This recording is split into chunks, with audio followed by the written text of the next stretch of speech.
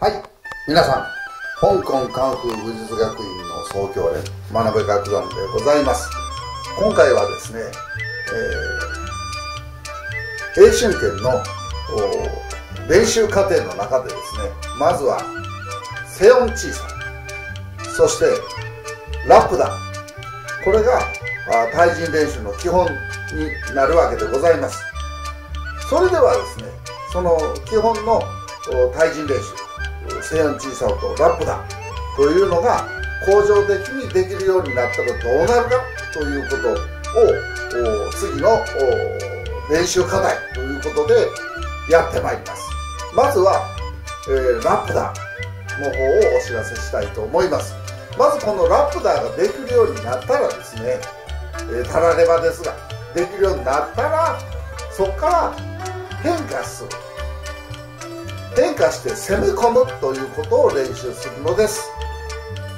まずはですねその攻め込み方その1ということで、えー、チュンマータンダで決めるというまあ一つのパターン練習がございます。まずはラップダをしていただいてそこから攻める方がです、パンダを打ち込みます。そしてそれが見事に決まればそこで終わりと。一応のピリオドということになるわけですね。それをまあ見ていただきます。どうぞ。まず今日今日はねラプダーをねやっていきましょう。ラプダーっていうのはここにボーンサをしてるところに関してはラプダーっていうのは永遠にこうやるんですよタッチとして持って打ってボンサをでボンウーですねでラプサをして打ってボンこれをずっとやり続けるんですけどももうで、これが恒常的にできるようになったら、次はここから変化していくっていう練習になる。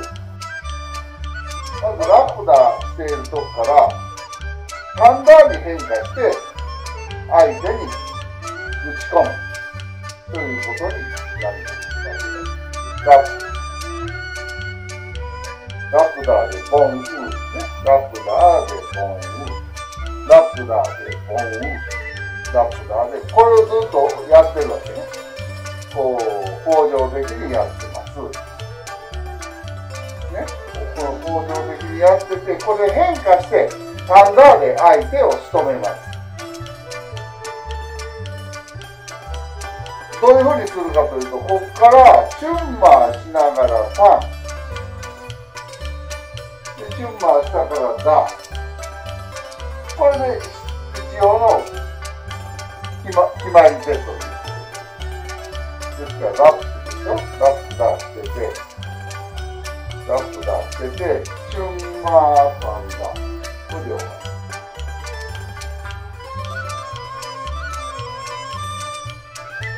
チュンマーパンダ。あ、出して。で、までパンダ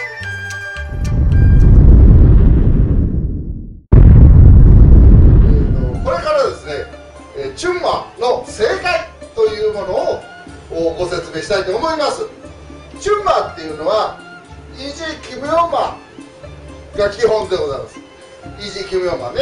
こうしてホイクムヨンマですね。これで。でこのイージーキムヨンマンになった内8の字を一つ開きます。こんな感じになってるのをこれ雑産マンって言いますけどでこれが、えー、大事なところは体幹の軸がしっかりすること。体幹がしっかり養成できて体軸というのを意識できる。頭のてっぺんからねピアノさんにずんとつられてるのは気持ちで軸がぶれることなくプッと。で頭のてっぺんから足の先までが同時にチュンバーする。同時に動く。ですからああ肩が先に行ったり腰が先に行ったりすることなく全体が縦軸回転の中で動いていく。こうですね縦軸回転の中で動いていく。これがチュンバー特に骨盤と肩関節。これがこううねりますとろくなことにならない。です、えー、で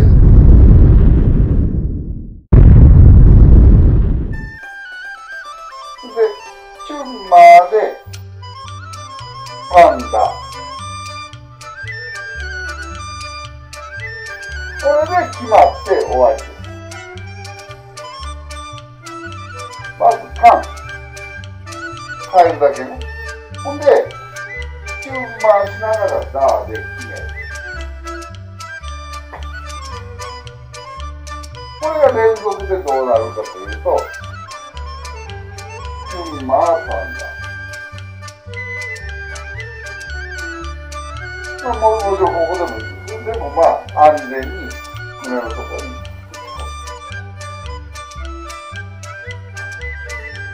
チューマーパンダ。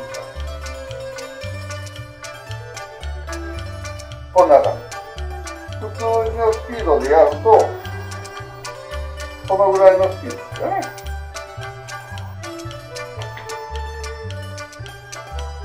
このぐらいのスピー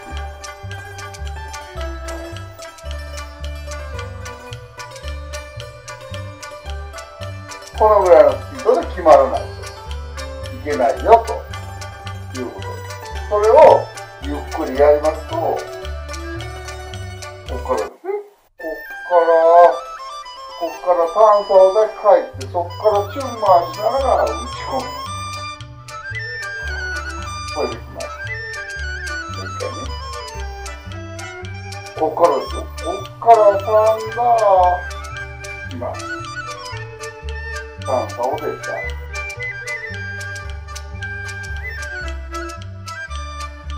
早くやると、こうやって早くラップ出してますね。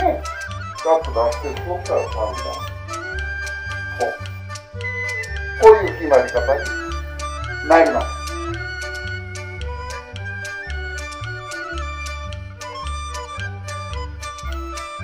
このぐらいのスピード。でないと決まりませんもんね。こんな感じでやります。最後までご視聴誠にありがとうございました。高評価チャンネル登録よろしくお願い申し上げます大変励みになりますまたご質問等はコメント欄にて残しておいてください。はいありがとうございました。